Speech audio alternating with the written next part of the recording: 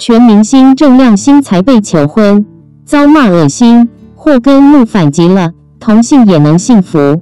出身自我爱黑社会的艺人郑亮星，近期因参加全明星运动会似广为人知，而先前才宣布和德国女友 Aki 彩希热恋中的郑亮星，两人认爱才一个半月，二十日惊喜宣布被女友求婚成功的消息，外界也纷纷献上祝福。怎料消息曝光后，却也遭受到不少网友的酸言酸语。对此，他也截图反击了，直呼同性也可以很幸福。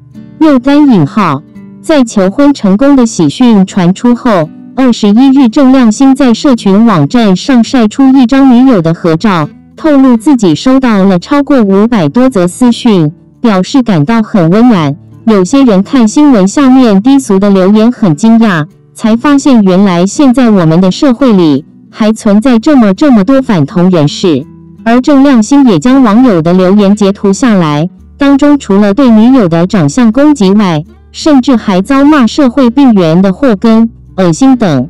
郑亮星坦言，看到大部分的留言后也感到非常生气，甚至还有人跟他说，在现实生活里，同志被言语霸凌是常态。我看了超级难过。想一想很可怕，这些留言的人都藏在我们身边。